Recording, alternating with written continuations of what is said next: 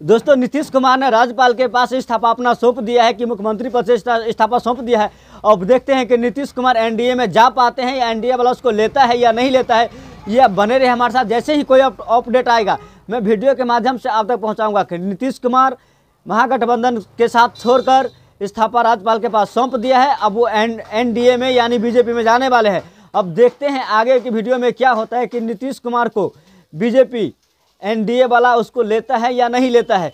अगर अमित शाह को पहले वाला बात अगर याद होगा कि नीतीश कुमार के लिए एनडीए का दरवाज़ा हमेशा हमेशा के लिए बंद हो चुका है तो वो नीतीश कुमार के साथ खेला कर सकता है कि नीतीश कुमार को एनडीए में जाने से मना कर सकता है, एनडीए में वो वापस नहीं ले सकता।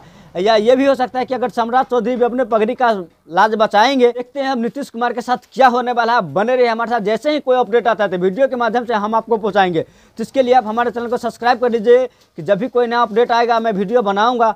इस तरीका का था उसका नोटिफिकेशन आप तक तो पहुंचेगा और आप वो वीडियो देखकर समझ जाएँगे कि हमारे बिहार में क्या चल रहा है। जैसे कि अभी हमारे पूरे भारत में सर, कड़ाकर की सर्दी चल रही है पर हमारे बिहार में जो राजनीति है उसमें तब तब गर्मी चल रही है। इतनी गर्मी है जब बने रहे हमारे साथ कितनी गर्मी है, वो हम इधर नीतीश कुमार एनडीए में जा पाते हैं, बीजेपी उसको लेता है या नहीं लेता है, ये वीडियो के माध्यम से हम आप तक, आपको बताएँगे, तब बने रहिए हमारे साथ। कर लीजिए चैनल को सब्सक्राइब, वीडियो का करिए लाइक और अपना राय कमेंट में ज़रूर रखिए कि आपको आगे कौन सा वीडियो चाहिए, क्या देखने वाले हैं। फिर मिलते हैं दूसरा वीडियो में, तब तक के लिए जय हिंद, जय भारत।